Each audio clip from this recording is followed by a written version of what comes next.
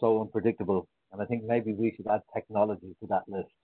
Um, my apologies for the glitch earlier on, and many thanks to Ole and his colleagues on SIG2 for stepping up and, uh, and helping us out.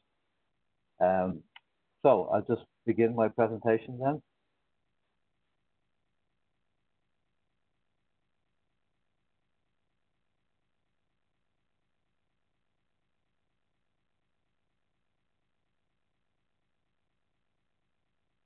Okay. So good morning, everybody. Um, my name is John Flavin, uh, and I'm currently the acting governor of the Irish Prison Service College.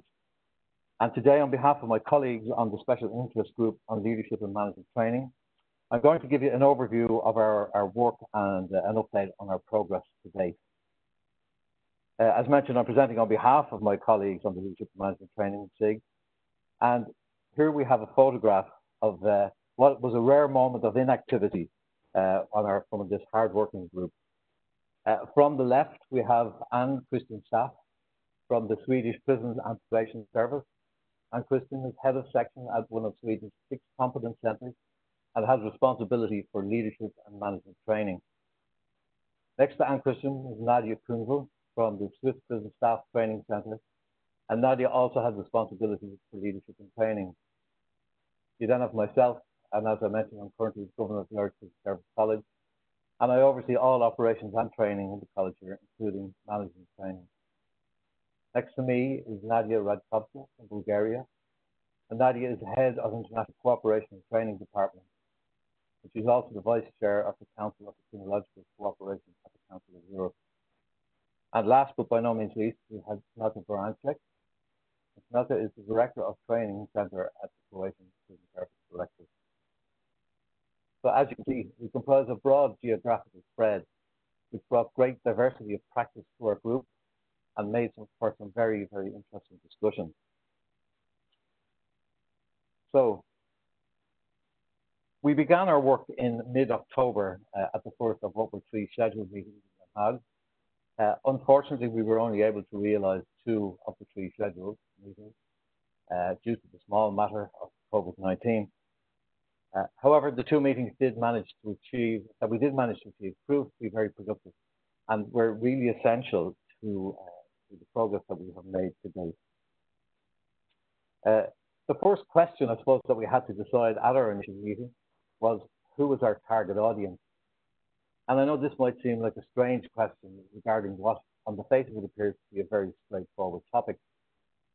However, during our discussions, we debated the terms leadership and management and it became apparent that they didn't have the same meaning for all countries. For some, there was no difference between leadership and management. The terms were interchangeable. But for others, they were distinctly different, where management referred to a position within an organization's hierarchy, whereas leadership could be found at all levels of an organization, from the most junior staff member to the most senior. And so after discussion uh, at our meeting, we arrived at the following consensus for our target audience. So we decided that the cohort of prison managers who are responsible for the strategic and operational of a prison, uh, in particular, the project is aimed at prison governors and directors and their deputies in the senior management team. However, it was also hoped that the project would be of assistance in developing training for staff who have been identified as future uh, leaders of their organisation.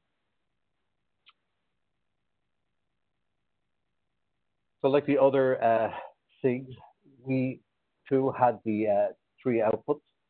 Um, we had the comparison good practice, minimum standards, and the handbook. Um, but I, I, suppose in terms of the output one, we changed the title from from best practice to good practice. Uh, and the reason for this was that due to the limitations on time and resources and constrictions on the size of the output, we didn't really feel that we could proclaim best practices without actually having evidence to back this up. We did, however, observe in, in the documentation lots of what could justifiably be called good practice, and hence the output changed from best practice to good practice.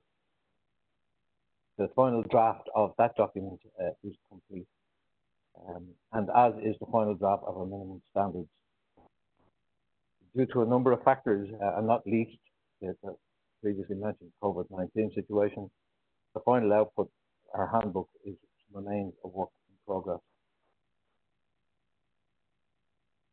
So in terms uh, and in relation to the, the grouping comparison good practice, uh, the methodology that we employed as a group to, to devise this output was to study documents, uh, to deliver presentations within the group on our own leadership trainings from our own uh, training academies. We also, also utilized the output from the EPTA conference of 2017 in Switzerland, which was uh, which had as its topic uh, leadership training. Um, this very recent data then, so I, I actually I'll go through that before this. Then we also sent a request to update the data, and we had extensive discussions um, both at our two meetings and also the various um, virtual meetings that we had. Um, so yes, I suppose just going back there, central to the first output was the comprehensive data, which was provided by different training centres from across Europe for the EPTA conference of 2017, which, as I mentioned, was held in Switzerland and had as its theme leadership training and training for prison and probation managers. This very recent data was augmented by updated data in response to requests from our group. What became apparent from the data was the very different contexts and variations in the approaches to leadership and management training. And so, as you can imagine, this proved very challenging to us as a group when we attempted to, to produce suggestions for our second output, the minimum standard. The final document contains an outline of programs from nine countries. And these are those that are listed on the screen now, Croatia, Finland, France, Ireland, the Netherlands, Norway, Slovakia, Sweden, and Switzerland. However, this is not to be interpreted as meaning that these countries produce the best leadership and management trainings. As we mentioned earlier, our outputs are limited by size, and these countries were selected purely on the basis of the amount of data that was available. And we in the SIG, we would like to recognize and thank all of the training centers that provided data, either in 2017 and or subsequently. We received data from approximately 18 countries.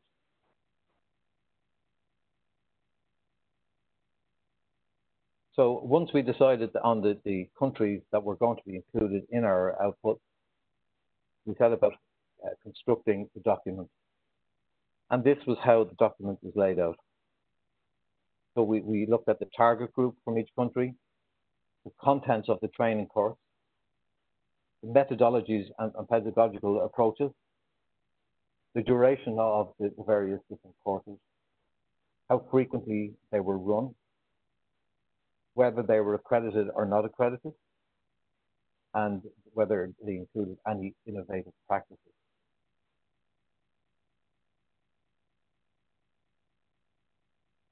And so to briefly summarize the findings and learnings from, uh, from the comparison, um, and we're just want to lay out just a few of, of, what we found under the following headings. So in terms of uh, design and implementation of training programs,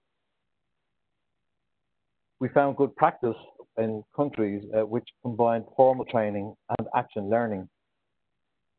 Another good practice I identified was the complementing of traditional training with an opportunity to practice the new knowledge within a real environment by rotating, shadowing, uh, experiential learning. And we also found that theory-based course lectures were being replaced with interactive learning.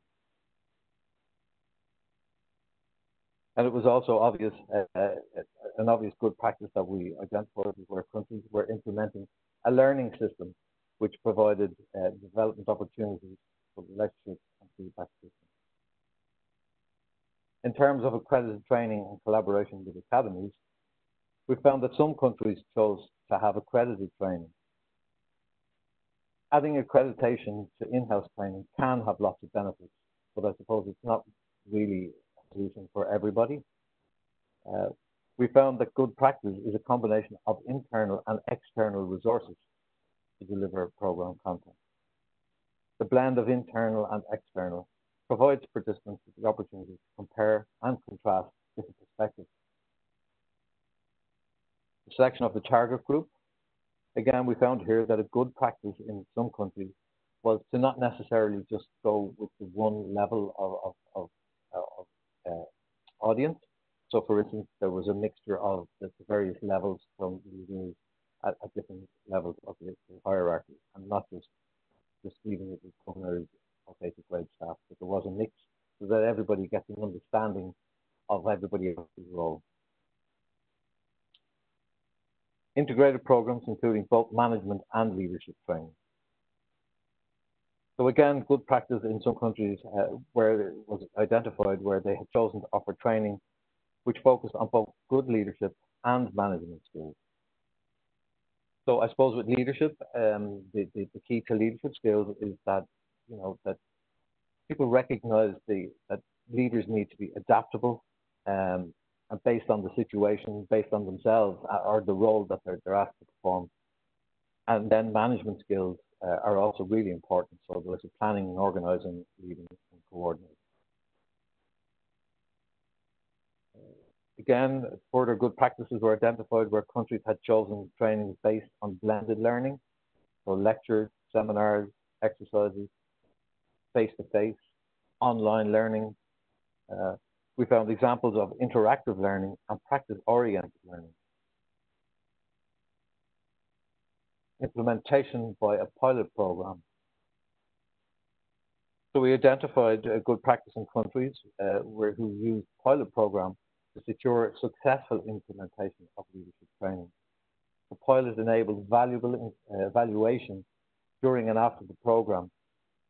Pilot program can successfully be used in taking further steps in, in establishing leadership training. And then finally, the final heading was the potential program. So good practice in countries uh, were considered the potential programs as a source of developing internal leadership talent among its staff employed in, other areas of the organization. The programs can ensure a flow of newly identified competent leaders with core skills who have the capability to advance to a critical position or higher level of responsibility.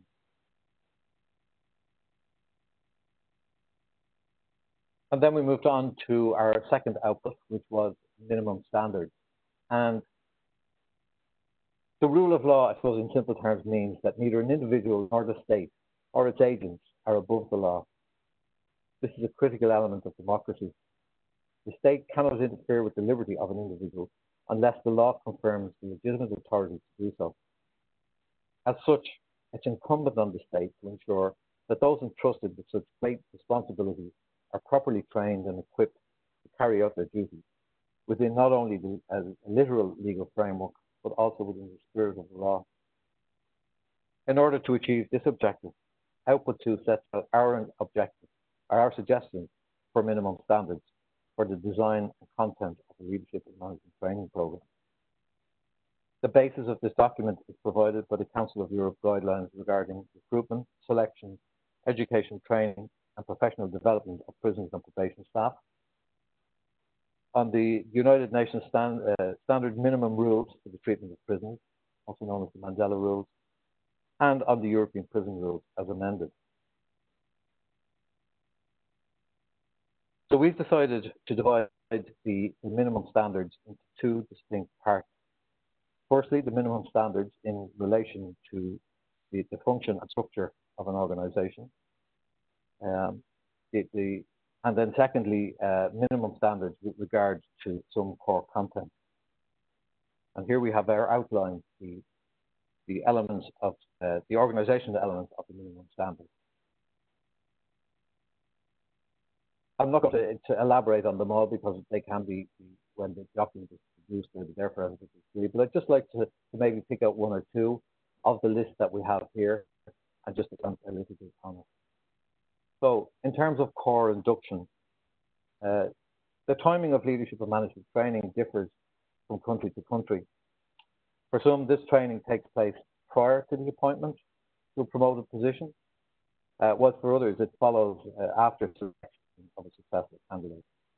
And then I suppose for, for others still, there's little or no formal training, and newly promoted staff are expected just to pick it up as they go along.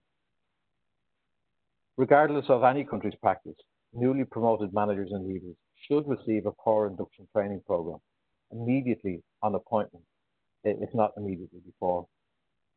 And the purpose of a core induction is to provide a clear outline of the role that the inductee has been appointed to, to articulate the organisation's mission, vision, and values, and how the employee's new role fits within this framework, and to give a clear understanding to the new appointee of the terms and conditions of the new role, and to provide an understanding of key policies and legislative responsibilities.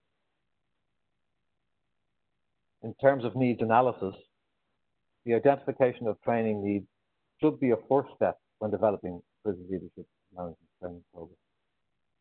Various methods can be employed to conduct a needs analysis, such as direct observation, questionnaires, consultation with persons in key positions or who have specific knowledge, interviews, workshops, assessment studies, and as we had earlier on, a little uh, lesson in managing critical incidents.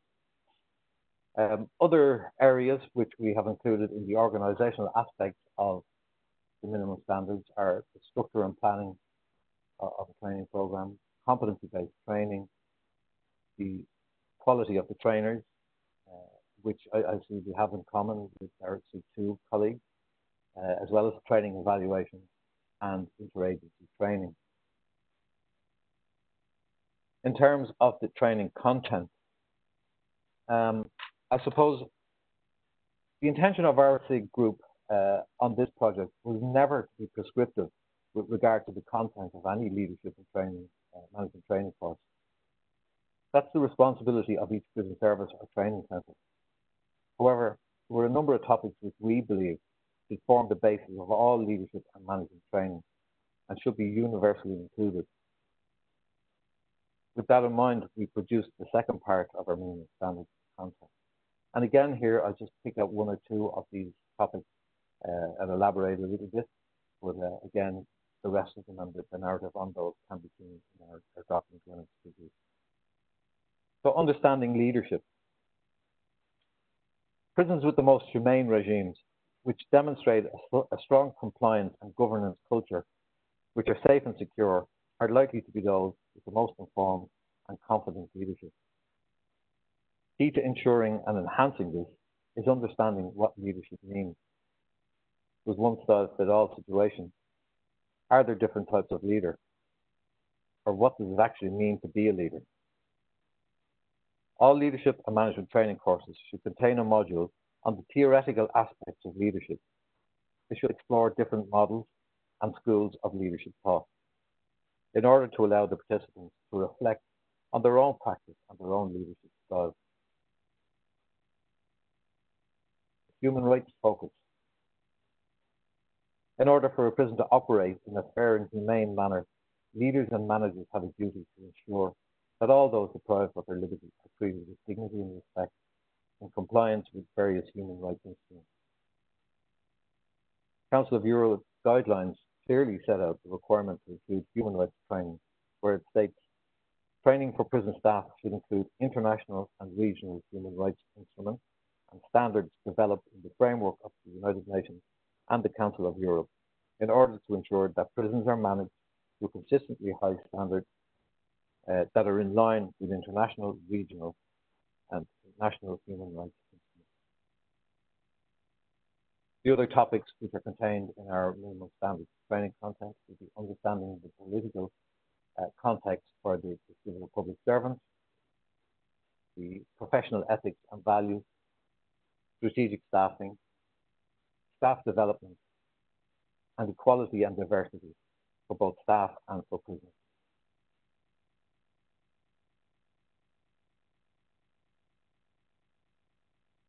Prison leadership calls for a range of highly developed competencies, underpinned by core values, professional commitment, and an ability to motivate and inspire. It has to be recognised that good prison management is complex and dynamic.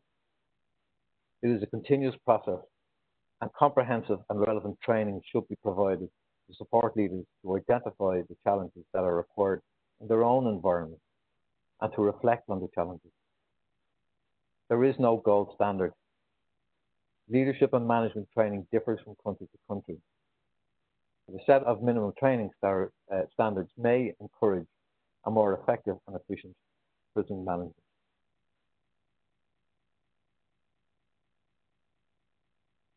And finally, then, just to move on to uh, the handbook. Uh, as I stated earlier, um, due to uh, COVID, uh, well, not least due to COVID, our handbook is still a work in progress. We have created a structure, uh, which we have outlined here, uh, and I'll briefly go through the, structure. Um, so we will obviously have an introduction to the handbook, uh, which will give the background to the project, rationale for leadership and management training, and an overview of the handbook structure and content. We'll then move into a chapter on managing the project. Um, so topics included in that will be, for instance, who will have ownership of, for the course development, what resources are available, what additional resources are required, and what are the timelines that need to be set in order to get the, management. We then have a, a, chapter on accreditation and structure. Um, and we look at the advantages and the disadvantages of accreditation because accreditation is not always the answer. Um, yes, it might be for some, but not for all. Uh, we will also look at partnering with external providers, and that's something that we do in the Irish Prison Service, and we bring in outside agencies to deliver some training for our staff. And then we, then there's a, the, the, the other topic in there is considering appropriate structure for your organization. We then go on to, to consider methodologies. So for instance, blended learning methodologies. What is most suited to your own individual needs and what is achievable.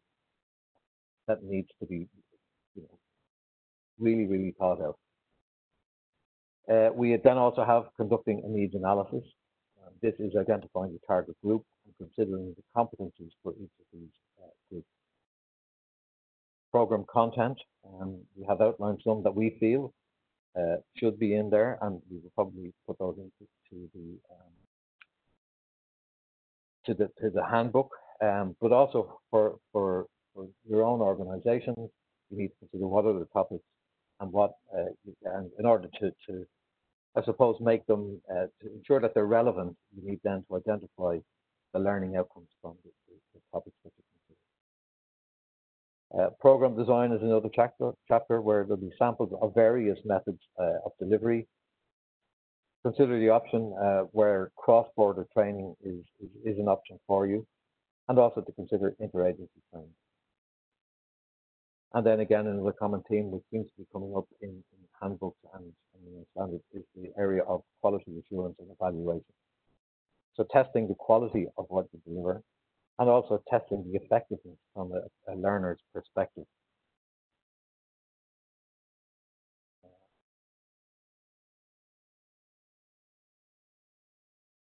So I think that's um, that's where we are at the moment. Um, Thanks very much for your patience uh, at the, the, start, and um, I hope this is of some value to you.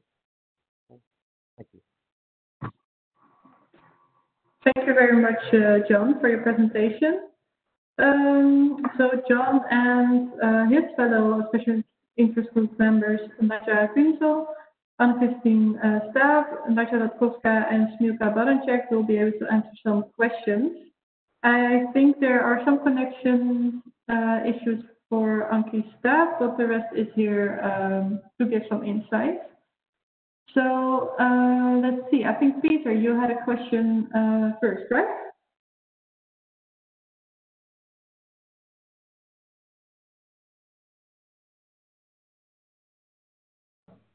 Okay, thanks, Lisa.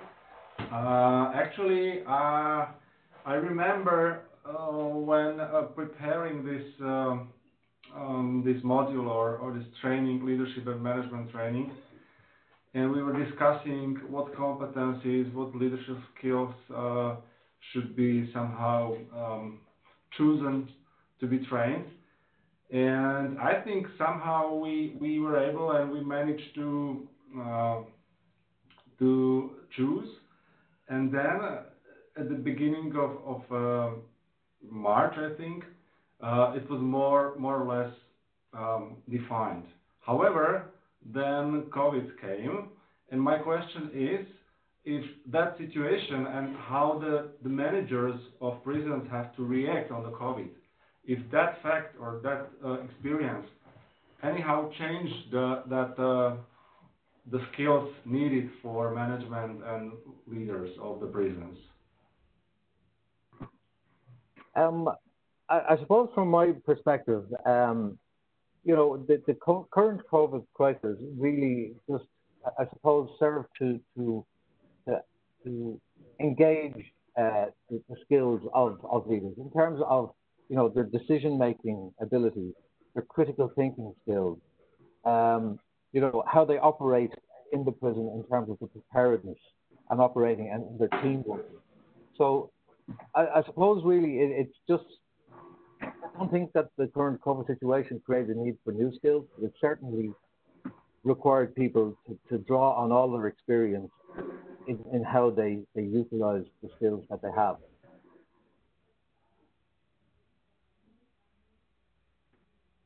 Okay, thank you. Thank you, John. Does any of the other um, group members have anything to add to this?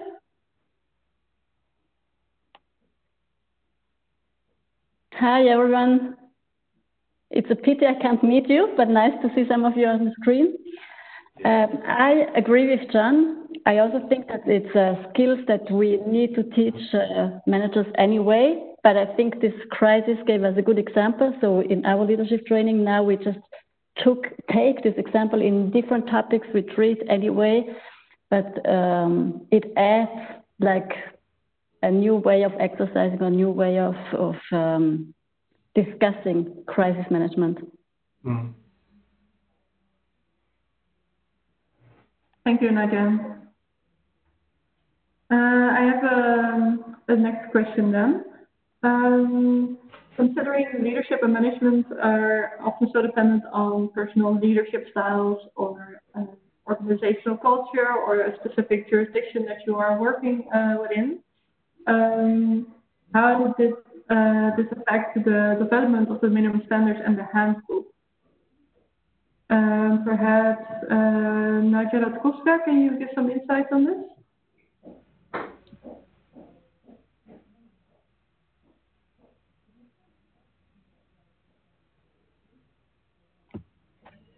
Can you hear me? Yes. Can you yes. see me? Another yes. question. okay, thank you very much for this authorization. It was not easy without voice and uh, without face. um, so thank you very much uh, for the extremely important uh, question, actually, Lizanne. And uh, I would like also to thank to my colleague John for the very extremely comprehensive way he described our work during the, the last uh, month. Uh, it was not easy, actually, even um, because uh, the different, um, as you said, Lizanne, different management styles, different uh, organizational values we have across Europe. As uh, my colleague John mentioned in his presentation, we in our um, special interest group, we uh, have represented different um, uh, geographical region in Europe, but also different cultural dimensions. And uh, from my uh, personal observation, uh, there are um, many many challenges in this uh, context. For example, what I, I observe is that there are different um, understanding across uh, Europe regarding the role of prison managers and prison leaders. Actually, who are they? Uh, who do we recognize as prison managers and prison leaders? This is very much connected to our work because we decided to start by defining who are those people and uh, we have um, actually tried uh, to, to compare and to combine the different practices into um, into one definition. And maybe we are right, maybe we are wrong. Uh, we'll see. Another issue connected to your question, um, Lizanne, is the fact that we have observed that uh, there are some controversies regarding the recruitment process of uh, prison uh, leaders and prison managers across Europe. Um, actually, it's not easy to find the public information about the recruitment process of uh, prison leaders and prison managers. Um, another issue uh, connected with uh, your question is the different insight that uh, we have regarding the role of training for good prison management and good prison leadership.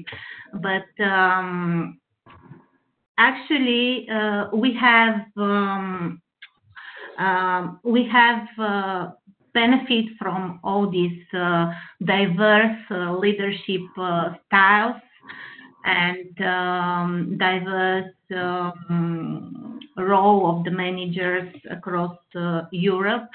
And I think that um, we have tried to find maybe not the gold standard, but some kind of balance to be useful for the different countries as good uh, practical advices and uh, standards, of course. Thank you, Nadia. I think that's a very uh, important insight that you share. So thank you for your elaborate answer.